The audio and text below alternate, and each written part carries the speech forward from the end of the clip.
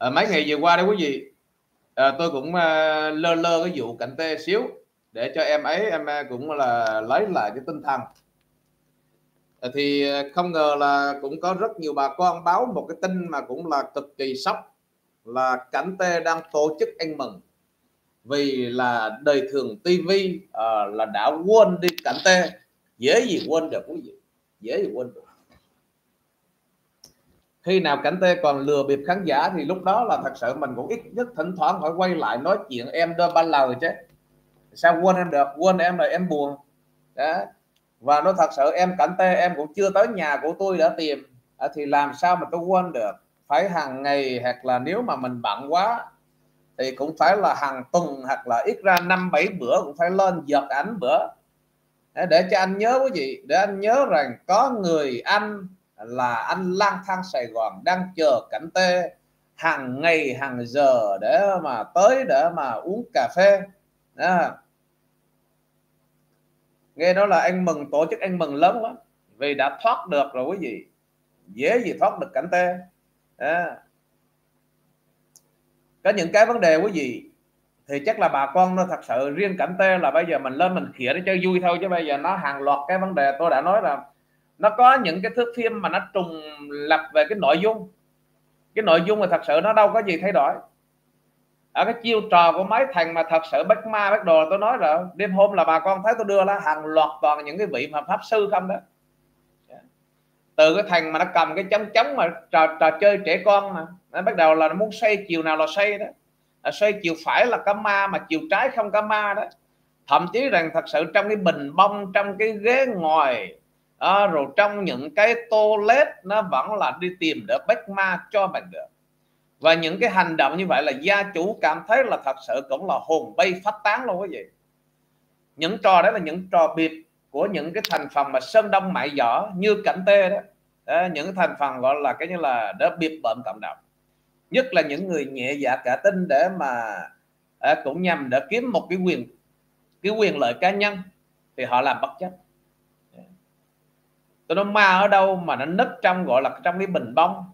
Ma ở đâu mà trong cái bức tượng quan âm bồ tát mà vẫn có ma?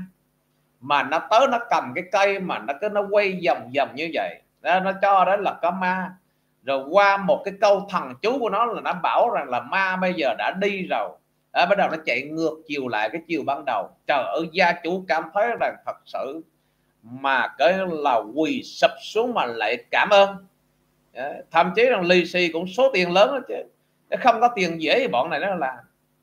Mục đích nó để ma mị để kiếm tiền. Đó. Còn qua chỗ ông thầy năm thì tôi tôi cũng đã có chia sẻ rồi. Ông này thật sự ông vô mà bất kỳ ai cũng vậy. Từ cái đâu bệnh gì nhưng mà qua cái miệng thầy năm là cũng là bị dâm nhập hết rồi. Mà đại đa số rằng ông thầy năm này ông trị toàn những người đàn bà phụ nữ không? À, cái người mà thật sự người phụ nữ mà còn trẻ trẻ đó là anh ngưới. Anh tổ chức anh ngưới. Anh ngưới mà từ bàn chân mà ngưới lên tới đỉnh đầu chỗ nào anh cũng trà sát cái mặt anh vô anh ngưới. À, anh giải thích rằng là anh ngưới như vậy để anh bắt được ma. Mà tôi nói thật sự có ngày có ngày mà ông gặp những cái người chồng mà người ta gọi là có cái máu nó ghen ghen chút đó là coi chừng ông mất cái đồ thở bây giờ đi trị bệnh gì mà thật sự bắt con người ta cứ nằm chàng hãng ra như vậy rồi từ trên người xuống tới dưới. Có những cái hành động thật sự. Có những cái chỗ mà ông không được ngửi mà ông vẫn ngửi. Mặc cái bộ đồ vàng cũng là thật sự cũng uy tín dở sợ lắm cũng cái đầu cũng trọc lóc như vậy. Đó, mà có những chỗ mà không đáng ngửi không thể ngửi được ông cũng chia cái mỏ vô ông ngửi. Của ma nào mà thật sự quý vị mà nó vô nó nhập là thật sự mà phải ngửi như vậy để ma nó ra. Một cái trò gọi là biệt bợm quá rõ ràng. Ngửi xong rồi rồi dựng đầu người ta vậy là dùng một chướng chướng một cái là ma ra rồi đó. À, vậy là cũng là một cái trò. À, và để tất cả các nhân vật ông này đó ông đi trị ma cũng là một cái bài như vậy. À, người mà càng trẻ là anh ngửi càng nhiều. À, mà người mà già già là anh ngửi hơi ít xíu. À, như nặng mùi vậy sao? Anh ngửi ít xíu còn mấy người trẻ trẻ vẫn còn cái mùi da mùi thịt đó quý vị. Nó vẫn còn thơm da mùi da mùi thịt ngửi càng dữ nữa. Anh ngửi mà thật sự không biết ngượng mặt. Rồi cái ông thầy hai thầy hai là vô nhà nào cũng là thật sự cũng là à, lấy nhang mà chọt vô lưỡi để mà bắt dâm bắt ma trị bệnh. Kiểu như vậy. Nó theo một cái gọi là một cái ba rem hết trơn và tôi để ý những con người này mà tôi so sánh với cảnh tê là nó cũng là một barren có nghĩa là ông nào ông cũng có một cái sở trường duy nhất. Duy nhất và mãi mãi thôi nhé không có một cái bài thứ hai. Cánh tê cũng vậy. Đi đến chỗ nhà hoang nào cũng dựng lên trở thành một trong những cái gọi là cái nhà này là có ma. Rồi dùng phần mềm quét ma. Trước khi dùng phần mềm quét ma thì anh cũng là lên cái kịch bản tìm một cái căn nhà hoang, dựng cho nó một cái câu chuyện, rồi tạo cho nó những cái gọi là cái tiếng động. Rồi bắt đầu là dùng cái phần mềm quét ma quét ma xong rồi cũng tạo tiếng động mạnh hơn rồi bỏ chạy. Y xì xì hết. Có nghĩa là vì sao mà những ngày vừa qua tôi đưa những cái nhân vật kia lên? Để mà thật sự giảm giảm bất cảnh tê, cái tần suất cảnh tê đi.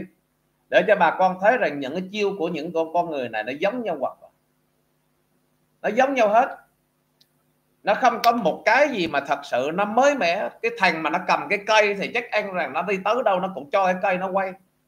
Là cái ông thầy ngửi thì đi tới chỗ nào ông cũng phải ngửi. Còn cái ông mà dùng nhang mà chọt cái lưỡi thì tới đâu ông cũng dùng nhang chọt lưỡi. Và cảnh tê nó dùng phần mềm quét ma thì tới chỗ nào nó cũng dùng phần mềm quét ma. Trừ khi nó đang ngủ với con vợ nó là nó không có dùng, nó quét thôi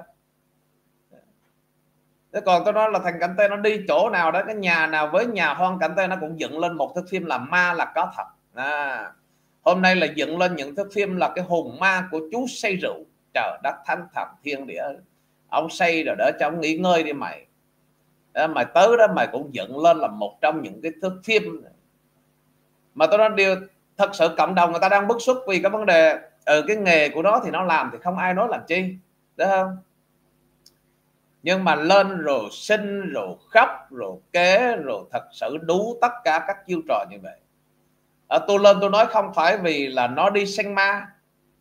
Nó đỡ nó biệt danh là cảnh tê sinh ma mà. mà thấy ma chưa có là thật sự là nó bỏ nó chạy trước. Tôi lên tôi nói gì tôi bực là tôi xem mà không thấy con ma nào, mà ngày nào nó cũng phải đi sinh mình bực là bực cái chỗ đó. Tại sao đến lúc cao trào, đến lúc ma xuất hiện rồi lại bỏ chạy?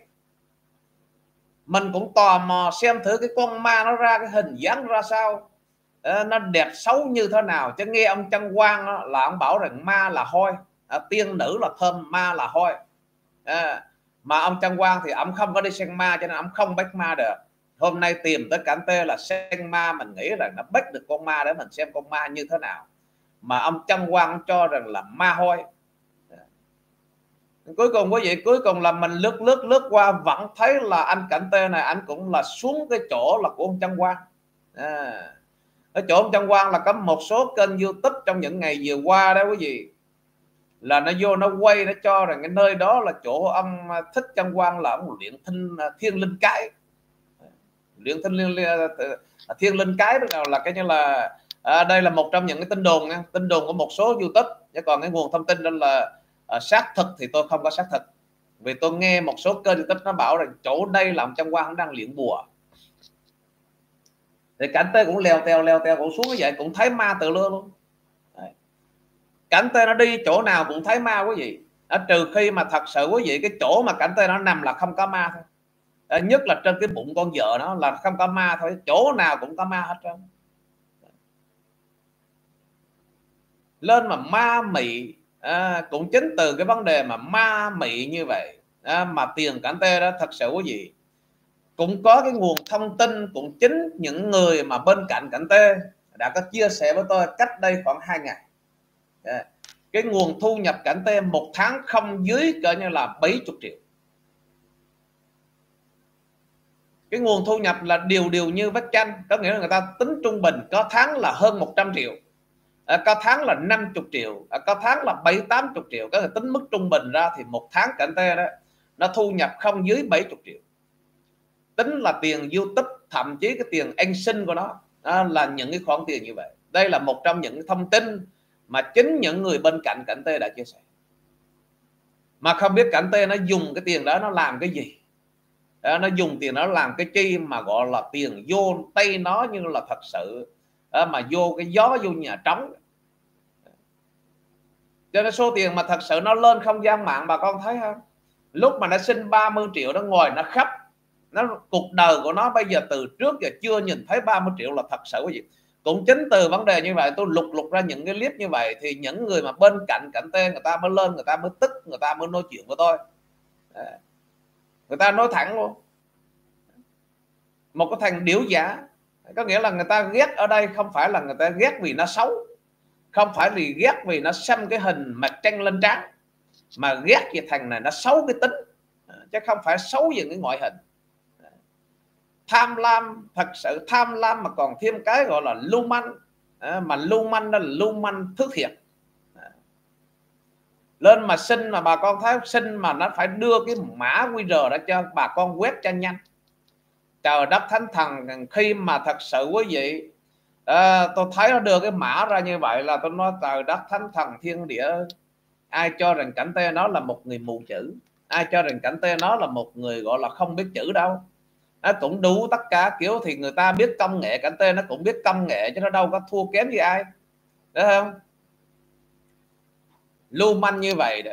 À, mà cứ lên không gian mạng là anh sinh à, lên không gian mạng là quy chụp lên không gian mạng là có những cái gọi là thật sự chày mòi à, ờ, nó có một cái quy chụp mà cái clip đầu tiên đó nó lên nó bảo rằng tôi là đi chữ cha mắng mẹ. Mà thật sự quý vị cái thời điểm đó là tôi chưa có chữ có nghĩa là mình lên có những cái gọi là ý kiến đóng góp. À, bây giờ nếu mà sinh đó, mà để báo hiếu như vậy thì cả cha cả mẹ cũng lên sinh chung. Chứ một mình cảnh tay lên sinh thì nó chưa đủ cái niềm tin chưa đủ sự thuyết phục của cộng đồng. Cho nên bây giờ thôi cha mẹ cảnh tê cũng phải lên mà sinh chung với con của mình. Có nghĩa là bây giờ anh đồng thì phải chia cho đủ chứ. Nó sinh là để nó báo hiếu không phải nó sinh để kêu tiêu cá nhân. À, mà cha mẹ không lên sinh cùng thì cảm thấy là cảnh tê nó bị thiệt thòi cũng tội cho nó. Thì mình có những cái kiến nghị đề xuất. Còn cái chuyện mà nó chấp nhận hay không đó là việc của nó. Chứ đâu có ảnh hưởng gì tôi mà nó cho rằng tôi lên chữ là cái là là, là cha mẹ đó. Đấy không? À, mình thấy rằng cảnh tê dù sao thật sự nó cũng có cái hiếu à, lên xin tiền để báo hiếu cho cha cha mẹ. Chứ không phải là lên xin tiền để mà anh giọng một mình. Thì thôi bây giờ cha mẹ đường nào cũng là con của mình thì mình đồng hành cùng với con lên. Đó, thuận cha thuận mẹ thuận con vậy nó mới gọi là nó hạnh phúc gia đình gọi là cái number one được.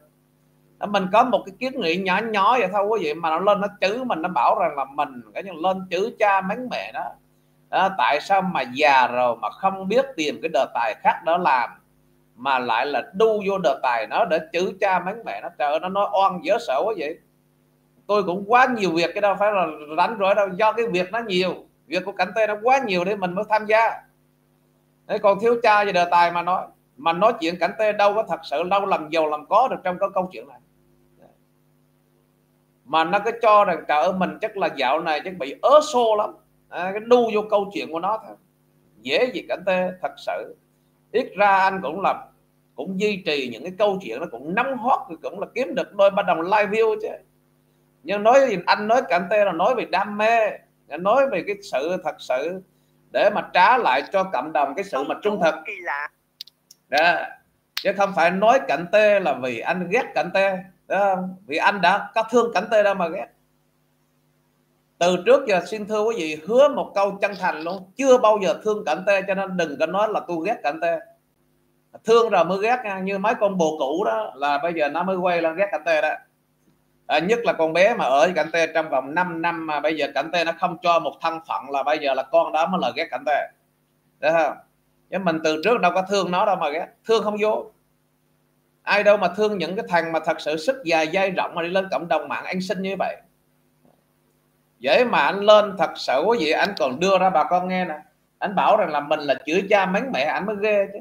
Ờ, thời điểm đây là anh chưa mua được đất quý vị còn đang thiếu tiền, nó chờ lên mà thật sự quý vị sẵn sàng đưa cha đưa mẹ lên để mà lấy sự thương xót. Dạ. Kênh đó đi. Kênh đó hả? Họ sống thất đức quá. Họ sống thất đức quá. Và trong những cái like gần đây em không hề nói gì vấn đề tiền bạc cả. Đúng không?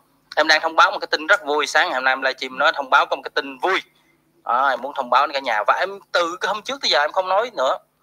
Tại vì em với lại anh chị bên Texas uh, là Ê, mỗi lần nói tôi thất đức là sao? Hình như nó bị ngạt bản họng quá vậy. Trời ơi anh là thật sự là người có đức đó thất đức là sao? Em hiểu không? Thất đức là đi anh sinh anh mày của người ta mình lợi dụng vào cái từ bi của người ta để mình anh sinh. Trong cái đó cái gia cảnh của mình nó không phải là như vậy. Ở mình ăn trên đồng, đồng tiền xương máu của người ta mà mình dụ người ta à, mình mới thất đức ví dụ như là cảnh tê được không? Còn anh lên đây là anh ngăn chặn cái hành vi. Đó, một là ngăn chặn hành vi của cảnh tê và bây giờ anh đã thành công. Có nghĩa là hành vi của em là hành vi anh mày mạng đó là anh đã thành công có nghĩa là từ lúc anh lên tiếng đó thì cái hành vi anh mày mạng của em nó đã không còn. À, cái thứ hai là để mà cảnh giác bà con để cho bà con họ biết rằng em là một cái thành phần lừa bịp. Em lừa bịp thôi chứ còn nó thật sự anh chưa nói em là một cái thành phần lừa đảo vì anh cũng đang tìm ờ, một cái lý do nào đó mà để em trở thành một cái thằng lừa đảo. À, hiện bây giờ em đang lừa bịp nhưng chắc ăn rằng nếu bây giờ đó mà chỉ cần biết địa chỉ em ở chỗ nào là em sẽ trở thành một thằng lừa đảo. Em tin. Cho nên đừng bao giờ nói anh thất đức nha. Thất đức là những người như em à, lên mà cái như là ngứa tay mà xin tiền mồ hôi nước mắt của người ta bằng những chiêu trò. Người ta đi lao động cũng cực khổ vậy. À, mà nó thật sự bây giờ người ta canh nhín lại người ta cho em là những người nghèo hơn em người ta sẽ mất đi cái phần đó em mới là một trong những thành mà thất đức, thất nhân. Anh mà thật sự quý vị, hết chuyện mình có sức khỏe lên lừa người ta, có cái bỏ vô mồm như vậy mà cho rằng là cái như là những người lên để lật trần cái sự thật là ra là thất đức. Thất đức chỗ nào? Mày lên mà làm cái điều tử tế, thật sự ai đâu mà nói mày, đây là có nghĩa là người ta nói đúng. Người ta lên nói đúng. Ờ, thì anh mất chén cơm, anh cho rằng cái như là người ta ác với anh, nhưng thật sự người ta đang cho anh một cái bài học vô giá đấy, đúng không? Thứ nhất là ít ra người ta cũng nắng lại cái nhân cách của anh xíu chứ nhân cách anh nó quẹo quẹo vậy tôi lên tôi nắng lại cho nó thẳng. một cái thành phần gì đâu mà thật sự vậy anh rồi cái lên không gian mạng rồi nghĩ cái đường để mày lừa người ta. Đó, rồi bị cộng đồng mạng lên án rồi cho là trời ơi kênh nó thất đức bất nhân. Đó, vậy đó mà quý vị cũng nghe nó, nó, nó chữ là thất đức. À, đang định hướng tại vì hôm trước là anh chị nói với em tại giờ mua đất xong rồi xây nhà này kia rồi cho em mới lên like em nói. Đó cũng như là ờ tại vì bây giờ muốn có nhà có giấy tờ này kia thì cần phải có nhà làm giấy tờ. Giờ tao hỏi bây giờ tao hỏi tổ cha mày luôn nè. À, này mới chửi nè. Trước chưa chửi có nghĩa là trước cái câu câu cho em vô gọi là vô khuôn khổ rồi chửi mới sướng. Rồi bây giờ có đất rồi sao không làm nhà để mà làm giấy tờ đấy. Cái này em có phải thành lừa đảo không? Chưa có đất, xin tiền có đất. Có đất rồi thì bây giờ là không có cất nhà để mà cái là vô cái giấy tờ, làm được giấy tờ. Thế bây giờ anh chữ cha em được chưa cảnh? Chữ được chứ mà anh không thèm chữ đó chứ. Đúng không? Cơ hội đó, cơ hội anh chữ đó mà anh không thấy thèm chữ. Hiểu không? Để, chứ em đừng có nghĩ là anh là là là là là là là là là là là là bữa trước là chữ cái cơ hội ra mà chữ được mà mà anh không có thèm chữ có nghĩa là anh là người văn hóa à, dễ gì mà chữ chữ gì bây giờ mà thật sự bây giờ mà nó trở thành một cái gọi là cái gen di truyền rồi thật sự bây giờ có chữ đâu có được mà phải trị thôi chứ giờ không chữ trời đất bà con thấy không nó lên mà riêng cái giấy tờ của nó không mà như vậy đó. Nó có sà quần sà quần ra bây giờ. Thì bây giờ nó thật sự ai là mạnh thường quân mà ngày xưa cho cảnh tê bây giờ tôi nó tức cũng bầm ra cũng cây cứu chứ. Lên mà xin bây giờ xin có đất làm nhà có làm nhà mới vô được giấy tờ. Bây giờ bà con thấy đi nó có rồi đó, đó nó có làm được giấy tờ hay không? Hay là bây giờ nó vẫn tiếp tục đi sinh ma? Mục đích của nó là lừa tiền. Ờ, à, anh rồi bây giờ thật sự đi lao động là không không ưng. Đi lao động là nó vất vả. Phải lên sinh như vậy. Rồi người ta đóng góp ý kiến đó. À, người ta đóng góp ý kiến rồi bây giờ bảo rằng là người ta lên chữ để dẫn dắt cái dư luận. Vừa rồi tôi cũng có nói liên quan chỗ miếng đất 30 triệu đó quý vị. Nó sát bên nhà của người ta luôn mà trước khi nó mua, nó đã biết rằng miếng đất này không có giấy tờ, nó nằm sát rạc bên nhà của chủ đất. Mà nó không mua, nó bảo sợ người ta lừa. Đó, mà lừa cái gì? Có 30 triệu mày mà thật sự người ta anh đầu sao người ta lừa? Mày cứ nghĩ cái bản chất mày là một cái thằng lừa, mà nghĩ ai cũng lừa như mày. Đúng không, cảnh tê?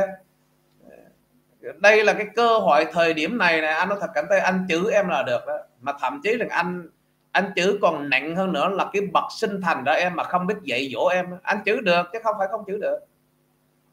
Nhưng anh không chữ. Làm gì các câu chuyện mà thời xưa anh chữ? Thời xưa chẳng qua là anh gọi là anh khuyến khích thâu hiểu không?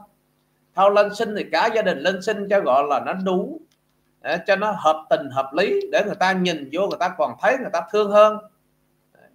Chứ một mình mày lên mày sinh thật sự cộng đồng người ta cũng cảm, cảm thấy sót chứ anh là anh cả nhà mà bắt một thằng nhỏ như cảnh tê phải lên, gọi là cái đứng mũi chịu sào. Anh là anh cả nhà, quý vị, cả cha, cả mẹ đều anh hết trơn.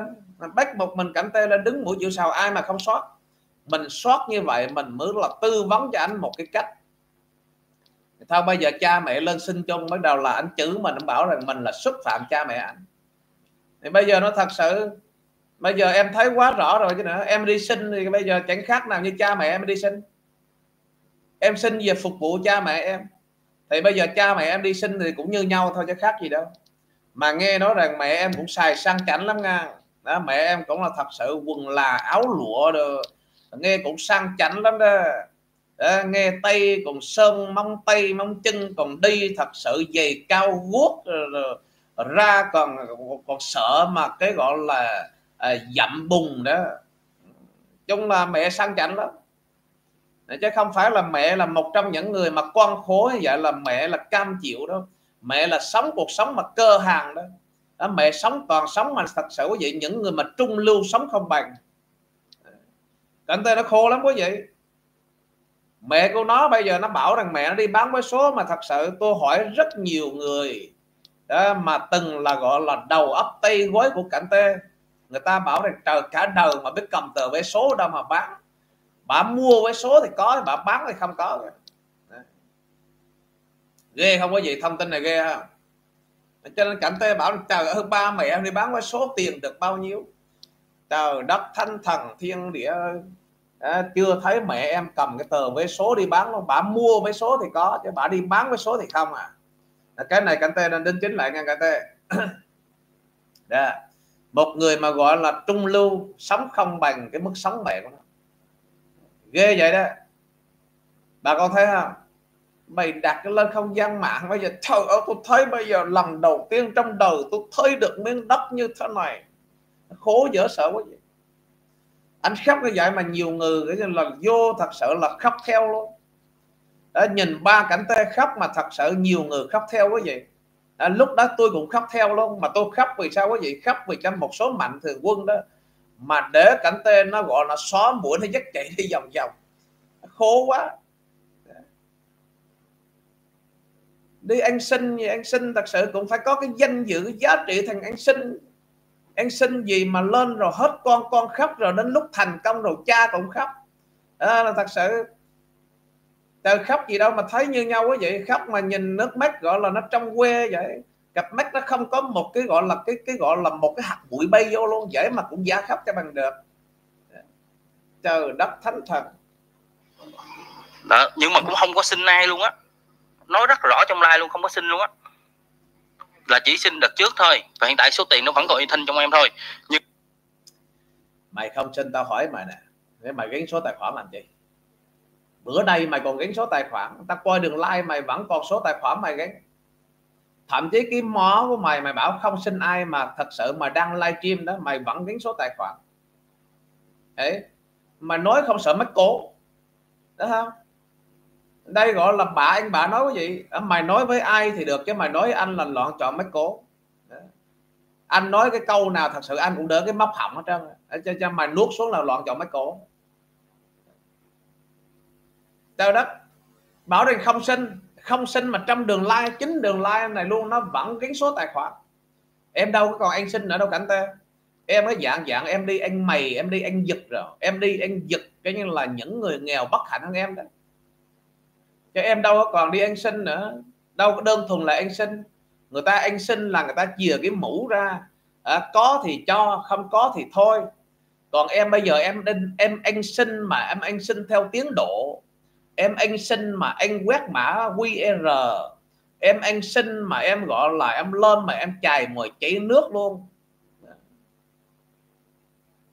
Bà con thấy lần, cái lần đây là thật sự quý vị cũng hết hồn hết vía chứ.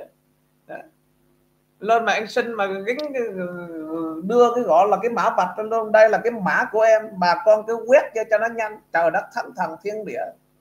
Anh xin mà còn tiến độ mày em là em lừa khán giả em hiểu không? Anh ghét nhất là những cái thói mà gọi là lừa lọc với cảnh ta đáng thật. À. thói lừa lọc. Lên không gian mạng mà đi đi lừa khán giả.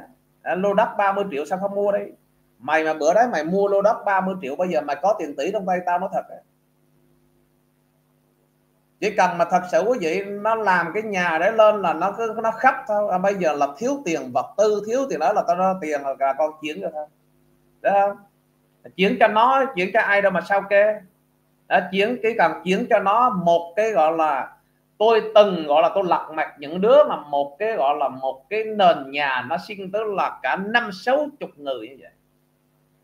Một cái nền nhà nó sinh năm, sáu chục người, nó sinh cho bản thân nó luôn. Một cái sân mà nó sinh tới là gần 10 mạnh thường quân. Cứ là người, nó lên nha quý vị, nó lên, nó quay lên à, bây giờ cái nền nhà ở đây nó trũng. Con muốn đôn cái nền nhà để lên mà không có tiền. Bắt đầu là thật sự quý người ta gửi tiền về cho nó. Mà cái như là cái câu từ đấy là nó lặp đi lặp lại là lên trên là sáu bảy đường like như vậy. À. và ngoài những người mà xem trực tiếp người ta chuyển còn những người họ xem lại nữa người ta tiếp tục người ta chuyển tiền đợi đến lúc mà một bà chị của tôi à, bắt đầu là bà mới hỏi của thành này sao thấy có một cái nền nhà mà nó sinh liên tục vậy? Tôi mới vô tôi coi. Tôi mới vô tôi coi là tôi để ý là thật sự quý vị là cái như là nó lên nó sinh tới bảy tám đường like như vậy. Đó bắt đầu là mình mới điện mình hỏi hôm nay là xin đủ tiền coi như là là bơm cát vô làm nền nhà chưa? Nói dạ chưa chưa ai cho hết trơn. À, bắt đầu tôi ghi âm lại đoạn đó. Rồi tôi gửi cho một số mạnh thường quân mà tôi quen đó. Tôi hỏi là hôm nay chị có cho trường hợp này hay không? Mà trời ơi cho rồi gửi cho ra bữa trước rồi bà đưa cả cái bill luôn. Tôi hỏi năm người là năm người đều cho hết trơn. Vậy xong dính rồi bắt đầu tôi lên tôi lật mặt là từ đó gọi là bán kênh dục kênh luôn đó quý vị. Lừa đảo trời sinh thật sự nó sinh cho nó ông nội ai đâu có, có bảo sao kê? Cứ người nào cũng nghĩ là chưa có ai chuyển cho nên mà là, là người ta chuyển. Hỏi bây giờ bơm cái nền nhà nó bao nhiêu bắt đầu nó nói cả số tiền luôn. Ở một khối cát bao nhiêu vôm như đó là người ta có chuyển đủ. Đó mà nó sinh một lần tức là mấy chục người như vậy. À. Bắt đầu là tôi lên tôi lật mặt bắt đầu là lo bán kênh ở bây giờ cũng tập tò tập tò làm kênh tôi đang theo dõi đó đó tập tò làm kênh tôi đang theo dõi. Xem thử là làm cái kênh như vậy rồi có anh mày nữa hay không. Cảnh tê nó cũng chơi cái bài như vậy. Mày chỉ cần bữa đó thật sự mày lên mày làm cái nhà rồi mày cần mày xin tiền bơm đất bơm cát không? À, mày xin một lần là 10 người là mày có khoảng là thật sự có đôi ba trăm triệu. Anh mà thật sự tao chỉ cái đường mà làm thật sự mày dạy lắm đáng lẽ mày phải hỏi qua anh trời ơi, anh tăng ơi, anh có trình độ, anh chỉ cho em cái cách mà để em anh mày sao em anh mày cái bài nào anh cũng bắt hết trơn hết trời. Ta chỉ cho cái bài mà anh mày. Anh mày mà thật sự mà lên mà trà lớp như vậy, nó mà khóc như vậy không biết nhục. Mà người ta lên nói với vậy, trời người ta lên nói, trời cái cơn đó nó thất nhân, thất đức lắm, cái cơn đó nó ác lắm. Sao là ác được? Cơn người ta gọi là uy tín, chất lượng. Ờ cơn người ta lên nó lật mặt những thành phần mà anh mày như em mà bảo là cơn ác ác là ác với em, nhưng mà nó thật sự bù lại cái là ờ, nó sẽ được, nó lan tỏa được một số bà con. Người ta hiểu được bản chất của em là cái thế loại như thế nào. Hiểu không? Đây gọi là làm phước đó quý vị diệt linh miêu mà cứu dạng thử. Chắc nghe câu từ này cảnh tê nó cũng là thật sự. Quý vị nghi nhờ dịch nghe sấm thôi, cho nó hiểu cái chi.